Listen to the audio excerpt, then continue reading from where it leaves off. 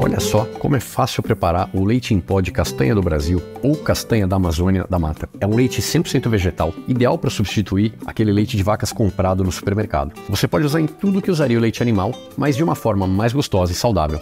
Aliás, a gente fez questão de lembrar do nosso microbioma os micro-organismos que estão dentro do nosso intestino. E por isso a gente incluiu a melhor das fibras prebióticas, a goma cássia. Se você gosta da consistência de leite desnatado, esse aqui é para você. Aqui tem dois scoops em 180 ml de água. Agora, se você prefere o seu leite mais cremoso, eu te sugiro preparar na cremosidade mata, com 6 scoops.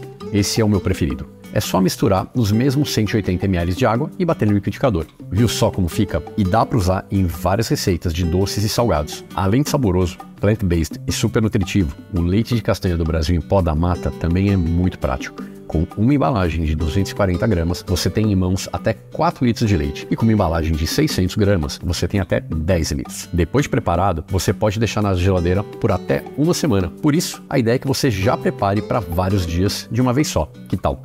E aí, preparado para experimentar um leite com o sabor da floresta?